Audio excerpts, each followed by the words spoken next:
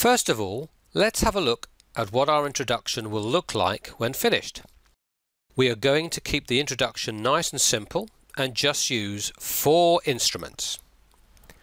On track 1 we will add a bass sample and copy it so that it plays for 16 bars. On track 2 we will add a drum sample but as we want to create a gradual build-up we won't add it right at the start of our piece but rather four bars later at bar 5. Then copy it all the way to the end. On track 3 we will add some keys. Once again, to create that gradual build-up we will add them 4 bars after the drums start at bar 9. Then copy them all the way to the end.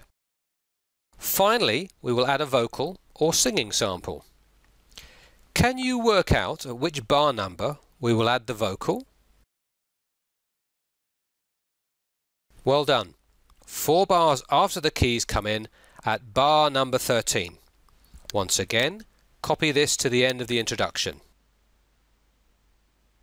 Let's now go through that slowly, step by step.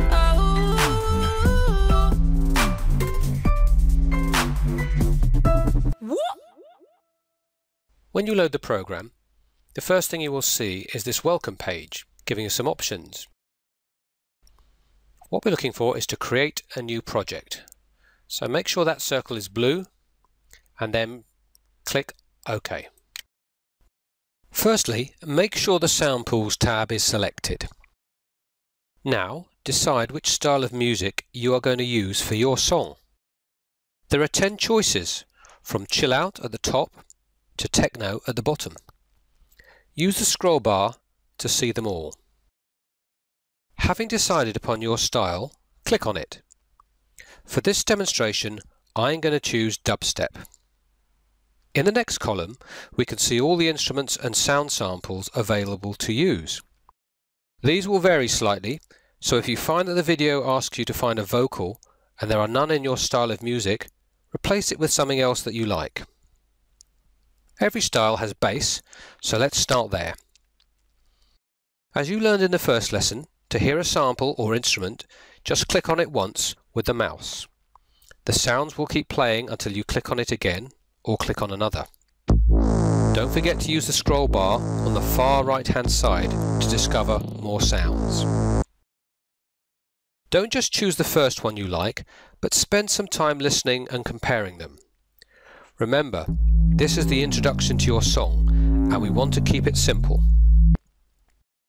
When you've decided which bass sample to use, hold down the left mouse button and drag it to track 1 on the top left part of the screen, starting at bar number 1.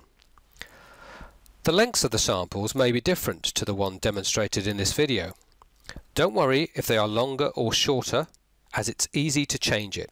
By clicking and holding on the bottom right hand corner of your sample, you can lengthen and shorten the sound. Have a try now. Now lengthen the sound all the way to the right hand edge of the screen. Do this slowly, as if you go too quick you will go too far. If this happens, don't worry, just drag it back to bar number 17. Now press the F4 key on your computer keyboard. This will allow you to see everything you have done so far. Click on the Return to Start button and press the triangle to play your song so far. If you don't like what you hear, click on the sample, press the delete key on the computer keyboard and choose another one. Once again, don't forget to use the scroll bar on the far right hand side to discover more sounds and spend some time listening and comparing When you're happy, save your work, then go to the instruments and click on drums. Take your time choosing the right drum beat for you. When you've decided which drum sample to use, hold down the left mouse button and drag it to track 2. But instead of putting it at bar 1, drag it to bar 5. This means the bass will play on its own for 4 bars, and then the drums will come in, creating the effect that we want in our introduction, a slow build-up. Now lengthen the sound all the way to the right hand edge of the screen. Click on the Return to Start button and press the triangle to play your song so far. How do the drums and bass sound like together? If you don't like what you hear, click on the sample, press the delete key on the computer keyboard and choose another one. Once again, don't forget to use the scroll bar on the far right hand side to discover more sounds. If you like what you hear, save your work, then go back down to Instruments and click on Keys.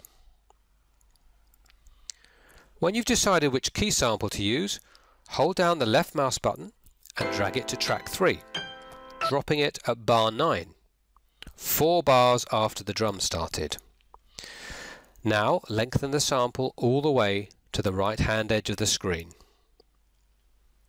Click on the Return to Start button and press the triangle to play your song so far.